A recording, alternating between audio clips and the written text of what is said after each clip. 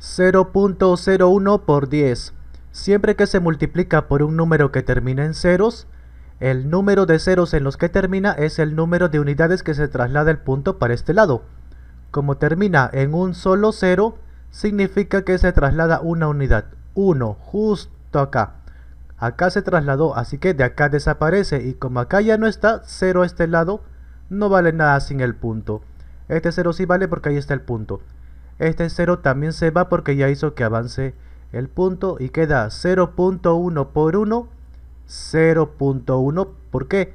Porque cualquier número que multipliques por 1 da el mismo número, en este caso 0.1.